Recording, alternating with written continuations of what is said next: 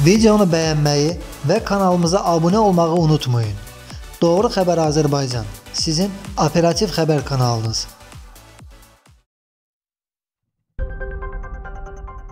Gələn il orta aylıq pensiyanın məbləği 327 manatdan 343 manata qaldırılacaq.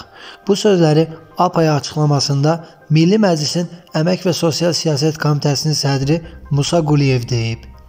O bildirib ki, yaşa görə pensiyanın məbləği isə 331 manatdan 372 manata çatdırılacaq.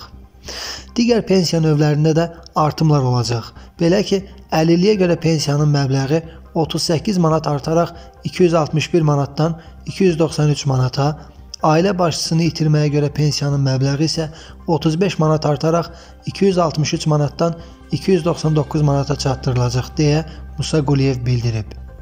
Qeyd edək ki, minimum pensiyanın məbləği 200 manatdan 240 manata qaldırılır.